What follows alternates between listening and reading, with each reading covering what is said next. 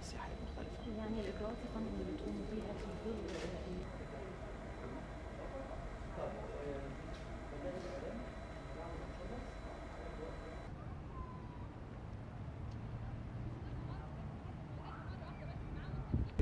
استنى بس استنى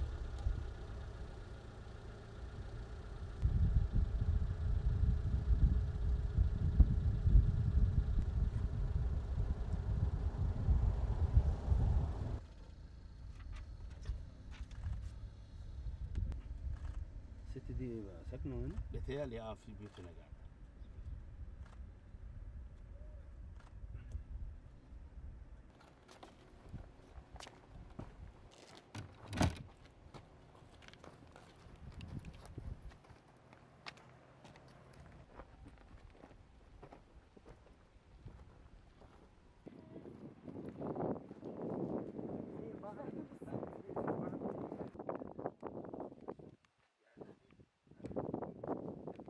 المحروق ده الأرض الفاضيه ال- من اول ال- ال- ال- الزرع اللي من الناحيه الثانية ده ولا طبعا إحنا هنا أكثر من خمس إحنا وعمام يعني زراعين إيه؟ قمح حاجة هنا آه دي هم حاجة إيه. ثلاث بيوت هو في أربعة هنا ادي واحد.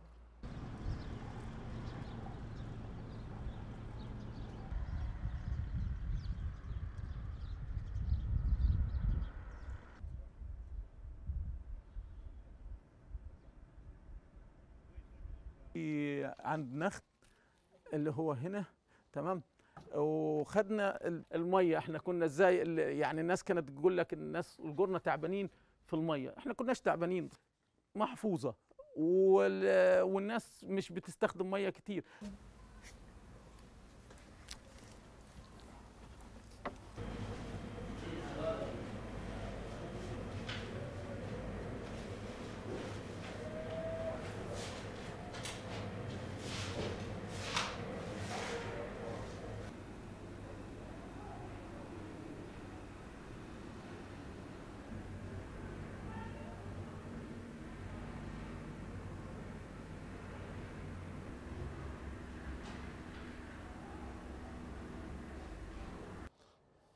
ودي شهادة واخدها. ودي طبعا بعض ده كان كان- ده في هرم سقارة ده. كان ده ده, ده ترميم. طبعا وده الصورة الصورة ده جد البشرايس محمود مع مستر كويبل و... على زي ما دول أجدادنا وفعلا إحنا ما ما يفكها عن طريق حاجة اسمها بخار الميه برضو كان يجيب المية كده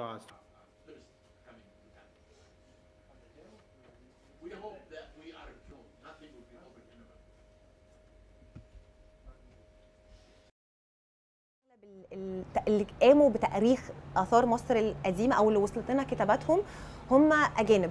فبالتالي لازم نفهم إن ده كان وقت الاستعمار وقت ال- الوقت العنصري. ففي حالة من حالات اللي هو بيقال عليها ال whitewashing أو ال- الغسيل ال- يعني ممكن نقولها بالبلدي كده الغسيل الأبيض. إن هو آه، يخلقوا سرد تاريخي آه، أبيض تماما.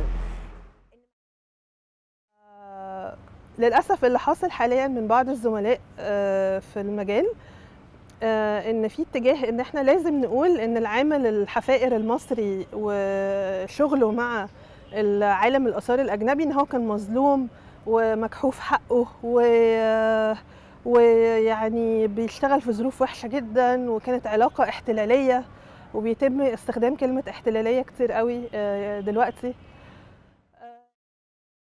كل الكلام ده.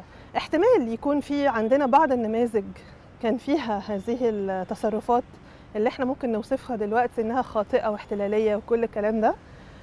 ولكن آه، ما نقدرش برضو نعمم ولا نجزم من غير ما يحصل مثلا على الأقل خمس سنين بحث مكثف في هذا المجال.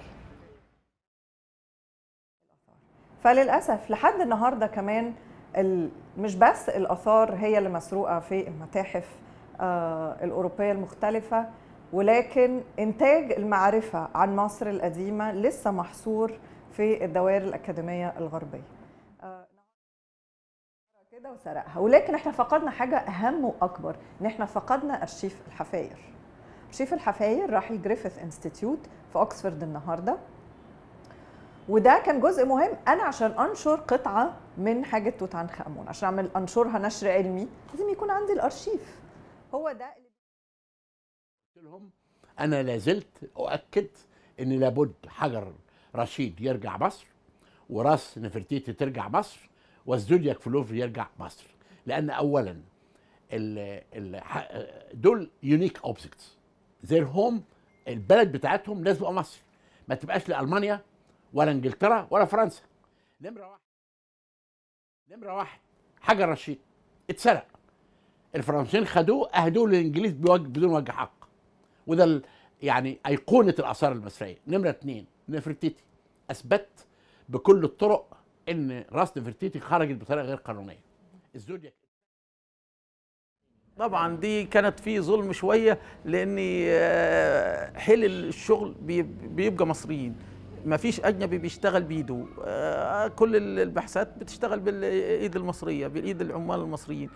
طبعا طبعا العالم ال- الأجنبي بياخد بيعمل الناحيه الفكرية بينشر بياخد حق النشر بيعمل كتب لحسابه وبيبيعها مراجع لحسابه وبيبيعها محاضرات بيبيعها. الجانب المصري ما بيستفادش بيستفاد ماديا بس علميا ما بيستفادش.